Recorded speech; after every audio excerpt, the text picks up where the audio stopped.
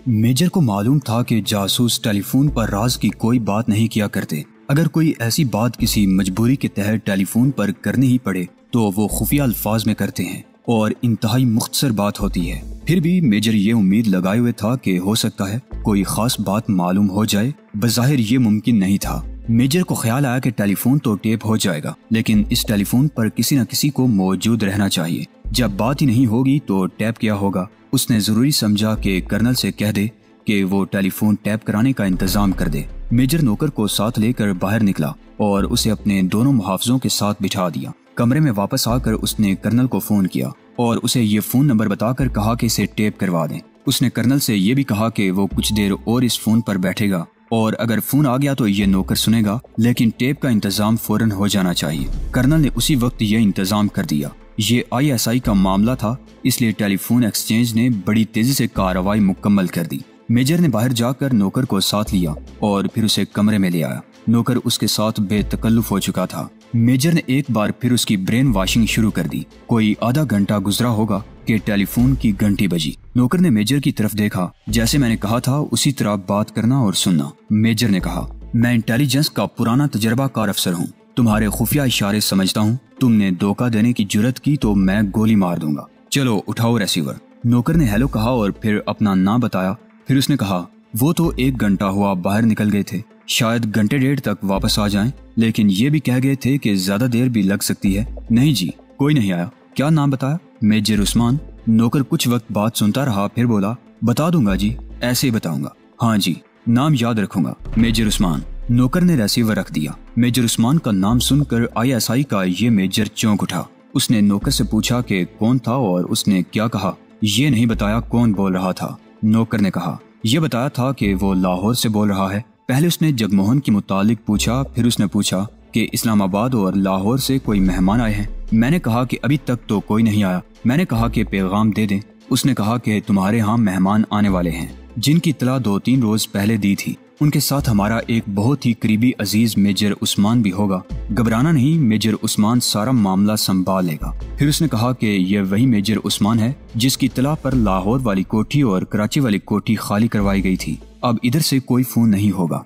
जगमोहन से कहना कि ऐसा कोई खतरा तो नहीं, लेकिन खतरा आ भी जाए तो कदम मज़बूत रखना। उस मेजर के जहन में मेजर उस्मान का नाम यूँ आने लगा। जैसे उसकी खोपड़ी पर कोई हथौड़ी की जरब लगा रहा हो। उसे मालूम था कि मेजर उस्मान अपनी बीवी के साथ सिंध में से गुजरते अगवा हो गया था और एक लड़की ने उसे रिहाई दिलाई थी। मेजर उस्मान ने यह सारी कहानी आईएसआई के ब्रिगेडियर और फिर मेजर जनरल को सुनाई थी। उसी की निशानदही पर लाहौर वाली कोठी जिसके बाहर एम ए खान का बोर्ड लगा हुआ था और कराची की कोठी पर छापा मारा गया था। लेकिन दोनों कोठियाँ खाली हो चुकी थी। मेजर ने उसी रात नौकर को साथ लिया। और जगमोहन के उस घर को मुकफल करके जीप में बैठा और वापस चल पड़ा। इंटेरोगेशन सेंटर में पहुंचकर मेजर ने नौकर को सेल में बंद करवा दिया और अपने कर्नल के पास जा बैठा। उसे बताया कि फ़ोन आया था और नौकर ने क्या बताया है। क्या ये बेहतर नहीं होगा कि टेलीफोन एक्सचेंज में जाकर टेप सुन लें? कर्नल ने कहा, मेजर उस्मान को उसका इशारा तक न मिले। कर्नल उठ खड़ा हुआ और मेजर को साथ लेकर बाहर निकल गया।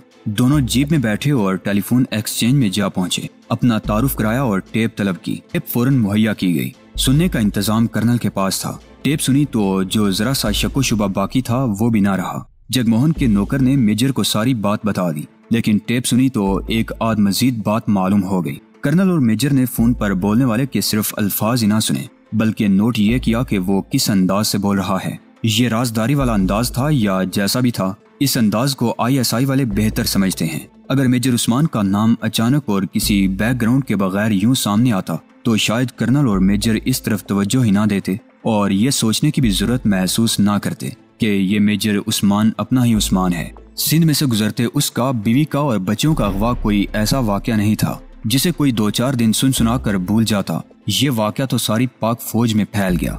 फौजी अफसरों का रद्दमल ये था कि उनके दिलों में सिंधियों की नफरत बढ़ गई थी और वो हिंदुओं को पहले से ज़्यादा काबिल नफरत दुश्मन समझने लगे थे।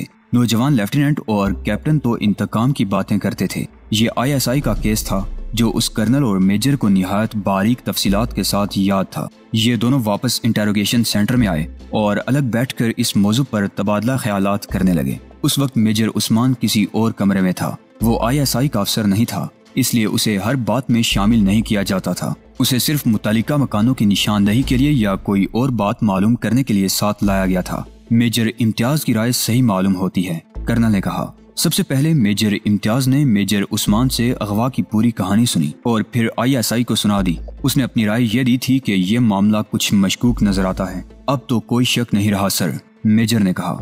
मेरी राय यह है कि मेजर उस्मान अपने आप पर पर्दा डालने के लिए आईएसआई की तवज्जो उस लड़की की तरफ़ कर रहा है, जिसने उसे रिहाई दिलाई थी और कहता है कि उसके साथ उसकी फ्रेंडशिप थी। मेजर उस्मान अयाश आदमी है, कर्नल ने कहा। अमीर खानदान का बेटा है और फौज में सिर्फ़ ऑफिसर बना हुआ है। मैं तो यहाँ तक कहने को तैयार हूँ कि उसमें कौमी जज्बा है ही नहीं, न ही उसमें कौमी किरदार है। सोचने वाली बात यह है कि मेजर उस्मान अपनी बीवी बच्चों के साथ अगवा हुआ और उधर लड़की इतनी दूर अंदर सिंध में जा पहुँची। जो डाकुओं और राहजनों का इलाका था। अब सोचना यह है कि हमें क्या करना चाहिए। जो हुक्म आप देते हैं, सर, मेजर ने कहा। रावलपिंडी वापस चलते हैं और जनरल साहिब को ये रिपोर्ट पेश कर देंगे। मैं कुछ और सोच रहा हूँ, कर्नल ने कहा। दो ऑफिसर, मेजर समी और कैप्टन आसिफ, मेजर उस्मान के गहरे दोस्त हैं। मेरे साथ उनकी दो मुलाकातें हुई थी, लेकिन उनके मुतालिक मेजर इम्तियाज़ ज़्यादा इन्फॉर्मेशन दे सकता है। ये दोनों मेजर उस्मान के बड़े गहरे दोस्त हैं और उनमें सही पाकिस्तानी जज्बा है। मेरा ख्याल है कि पहले लाहौर ही चलते हैं और उन दोनों ऑफिसरों के साथ कुछ बातें करेंगे और उनकी सुनेंगे। ये कर्नल और मेजर अपने तौर पर कोई फैसला करने की अथॉरिटी नहीं रखते थे। ये बड़ी अहम और नाजुक बात थी, जो उन्हें आईएसआई के बालाई अफसरों तक पहुंचानी थी। इंडियन इंटेलिजेंस के किसी रिंग में पाक आर्मी के किसी अफसर का नाम आना कोई मामूली बात नहीं थी। कर्नल ने जगमोहन और उसके दोनों नौकरों को हथकड़ियाँ लगाकर रावलपिंडी पहुँचाने के इंतज़ाम कर दिए। उसे खुद रावलपिंडी तक साथ जाना था। लेकिन मेजर को साथ भेजा और खुद मेजर उस्मान को साथ लिए, लाहौर के लिए रवाना हो गया। उसके जहन में एक बड़ी ज़रूरी कार्रवाई आ गई थी। लाहौर पहुंचकर उसने मेजर उस्मान का शुक्रिया अदा किया कि उसने बड़ी ही कारामद रहनुमाई और निशानदेही की है, जिससे आईएसआई को कामयाबी हासिल हुई है। कर्नल ने मेजर उस्मान को फारी कर दिया और कहा कि जब भी उसकी ज़रूरत पड़ी उसे बुला लिया जाएगा। मेजर उस्मान चेहरे पर और अपने अंदाज में फातिहाना तासुर पैदा किए अपने घर में दाखिल हुआ। उसकी बीवी वीना ने उसे देखा तो इस तरह उस तक आई जैसे वो लोहे की कमज़ोर सी पतरी थी और उस्मान बड़ा ही ताकतवर मकनातीस था। वीना जज्बात और मुसरत के जोश से उस्मान से चिपक के रह गई। फिर उस्मान ने अपने दोनों बच्चों से इस तरह वालिहाना वार प्यार किया, जैसे बरसों की जुदाई के बाद उसे बच्चे मिले हों। वीना को बताने वाला कोई ना था कि उस्मान उसे और बच्चों को देखकर खुश नहीं हुआ, बल्कि उसकी असल खुशी ये है कि वो अपने रिंग के तमाम अफराद को बचाने में कामयाब हो गया था। उसकी तला पर लाहौर वाली कोठी और कराची वाली कोठी बर वक्त खाली हो गई थी। जगमोहन और उसके नौकरों का उसे कोई गम न था। उनके साथ उस्मान की राव रस्म भी नहीं थी। उस्मान की असल फतह तो ये थी कि उसने अपने खिलाफ जरा सा भी शक पैदा नहीं होने दिया था। कर्नल और मेजर ने भी तो उसे जरा सा भी शक नहीं होने दिया था कि वो दोनों से मुशतबा समझ रहे हैं। वो खुश था कि उसने इस कर्नल और मेजर को ही नहीं, बल्कि पूरी आईएसआई को बेवकूफ़ बना लिया है। मेजर उस्मान ग्रेजुएट था। इस मुहावरे से कि अल्लाह की लाठी बे होती है, अच्छी तरह वाकिफ था, बल्कि इतना ज़्यादा वाकिफ था कि इस मुहावरे को वो महज बेमानी समझता था। उसने अल्लाह की लाठी कभी चलती नहीं देखी थी, या उन गुनाहगारों को नहीं देखा था, जिन पर यह लाठी चली थी। उस्मान को गालिबन ये भी मालूम नहीं था कि कुछ अरसे के लिए कुछ लोगों को बेवकूफ़ बनाया जा सकता है, लेकिन तमाम लोगों को तमाम उम्र के लिए बेवकूफ़ बनाने में कभी कोई कामयाब नहीं हुआ। झूठ धोखादही और फ्रेबकारी हर माशरे में चलती है लेकिन कुछ अरसे के लिए। इसके बाद कुदरत का रद्दमल शुरू होता है। फरेबकार आदमी अपनी फरेबकारियाँ जारी रखता है। लेकिन वो नहीं समझता कि अब वो अल्लाह के बंदों को नहीं, बल्कि अल्लाह को फरेब दे रहा है और अल्लाह ऐसे लोगों को बख्शा नहीं करता। अल्लाह सिर्फ़ डील देता है और फिर उसकी जाते बारी पकड़ने पर आती है तो ये पकड़ बड़ी ही सख्त होती है। मेजर उस्मान अब अल्लाह के बनाए हुए कानून की गिरफ्त में आ गया था। क्या वो पकड़ी गई है? वीना ने उस्मान से लूसी के मुतालिक पूछा। वो तो नहीं पकड़ी जा सकी। उस्मान ने जवाब दिया, उसके रिंग के तीन आदमी पकड़े गए हैं। चंद दिनों तक वो भी गिरफ़्तार हो जाएगी। वीना इसी खुशी की मुंतजर थी कि लूसी गिरफ़्तार कर ली गई है। उस्मान उसे कराची की कारकर्दगी सुना रहा था। उस वक्त कर्नल टेलीफोन एक्सचेंज में उस्मान के घर का फ़ोन टैप कराने का इंतज़ाम कर रहा था। ये इंतज़ाम करके कर्नल आईएसआई के लाहौर के ऑफ़िस में चला गया और मेजर इम्तियाज़ से मिला। मेजर उस्मान का पर्दा उठ गया है। कर्नल ने कहा, तुम्हारी राय सही मालूम होती है तुमने उसके अगवा की रिपोर्ट पेश करते हुए कहा था कि तुम्हें ये सारा मामला मशकूक नज़र आता है। लेकिन मालूम नहीं ब्रिगेडियर साहब क्यों मान गए थे कि मेजर उस्मान का बयान बिल्कुल सही है। कर्नल ने मेजर इम्तियाज़ को सारी बात सुनाई कि मेजर उस्मान का नाम किस तरह सामने आया है। कर्नल ने मेजर इम्तियाज़ को ये भी बताया कि उस्मान के फ़ोन को टैप करने का इंतज़ाम कर दिया गया है। अब ये टेप वक्तन फवक्तन सुनते रहना मेजर इम्तियाज़ की ड्यूटी थी। एक बात और जहन में आती है इम्तियाज़, कर्नल ने पूछा। मेजर उस्मान के ये दोस्त मेजर समी और कैप्टन आसिफ कैसे आदमी हैं? क्या उनसे कोई ताउन या मजीद बात मिल सकती है? सौ फ़ीसद काबिल एतमाद आदमी है, सर। मेजर इम्तियाज़ ने जवाब दिया, अगर आप चाहें तो मैं उन दोनों को यहाँ बुलवा सकता हूँ। अभी नहीं, कर्नल ने कहा, पहले मैं चीफ को ये सारी रिपोर्ट दे दूँ, फिर तुम्हें बताएँगे कि हमारी ज़रूरत क्या है। मेरा ख्याल है कि अभी तुम मेजर समी और कैप्टन आसिफ को ना बताना कि मेजर उस्मान के मुतालिक क्या इंकशाफ हुआ है। ये ज़रूर करना कि उन दोनों को जहनी तौर पर तैयार कर देना। कि ऐसी सूरत हाल पैदा हो जाए तो क्या वो ताउन करेंगे? यस सर मेजर इम्तियाज़ ने कहा। ये दोनों मेरे दोस्त हैं। मैं मेजर उस्मान से भी मिल चुका हूँ। समी और आसिफ मुझे ऐसी बातें बता चुके हैं, जो मेजर उस्मान के खिलाफ शक पैदा करती हैं। बहरहाल, आप जैसा चाहेंगे वैसा ही होगा। कर्नल उसी रोज रावलपिंडी चला गया। एक वो थे जो पाकिस्तान और इस्लाम के नाम पर कुर्बान हुए जा रहे थे। उनमें एक डॉक्टर रशीद था, जिसे अम्बाला से दिल्ली ले गए। और एक मेंटल हॉस्पिटल के एक सेल में बंद कर दिया गया। उसकी जहनी हालत बिगड़ी थी, संभली नहीं थी। एक नौजवान डॉक्टर ने, जिसका नाम राजेव था, डॉक्टर रशीद को डॉक्टर समझकर इलाज करने की कोशिश की थी, लेकिन वो अभी नो आमोज था। डॉक्टर राजेव ने दूसरे डॉक्टरों के साथ यूँ बात की, और ये बात करता ही रहता था कि ये डॉक्टर है, और हमारा फ़र्ज़ है कि इसे सेहत याब करें। लेकिन एक रोज उसे एक पुराने डॉक्टर ने कहा कि वो इस मरीज़ में इतनी दिलचस्पी ना ले। और वो जैसा है, वैसा ही रहने दे। डॉक्टर राजीव को ये बात अच्छी ना लगी। उसने वजह पूछी, क्या हमने पहले तुम्हें बताया नहीं था कि ये मुसलमान है? पुराने डॉक्टर ने वसीली आवाज़ में कहा, उसे नजरअंदाज करने की दूसरी वजह यह है कि ये गवर्नमेंट हॉस्पिटल में बाकायदा मुलाजिम था। किसी को पता ना चल सका कि ये पाकिस्तान का जासूस है। इसने एक ऐसे पाकिस्तानी को अस्पताल से फरार करा दिया था, जो जासूस था और उसे हमारी इंटेलिजेंस जख्मी हालत में अस्पताल में लाई थी। पता चल गया कि ये फरार इसने करवाया है। तो इसे पकड़ा गया, लेकिन ये अपने ग्रोह के किसी और आदमी की निशानदही नहीं करता था। इसे टॉर्चर किया गया ट्रंकोलाइजर भी दिए गए, लेकिन उसकी ज़ुबान से कुछ और उगलवाया ना जा सका। हता कि ये दिमागी तोजुन खो बैठा, ये अब ठीक नहीं हो सकता, ना इसे ठीक करने की कोशिश करनी है। एक दो दिनों बाद इसे आगरा पागल खाने में भेजा जा रहा है। आपका हुक्म मानना मेरा फ़र्ज़ है, डॉक्टर राजीव ने कहा। मैं तनख्वाह की खातिर नहीं, बल्कि तजर्बा हासिल करने के लिए नौकरी कर रहा हूँ। मैं आपका मातहत हूँ। आपकी हुक्म उदूली की ज़रूरत नहीं करूँगा, लेकिन ये ज़रूर कहूँगा कि जो बात आपने की है, ये हमारे मुकदस पेशे की तोहिन है।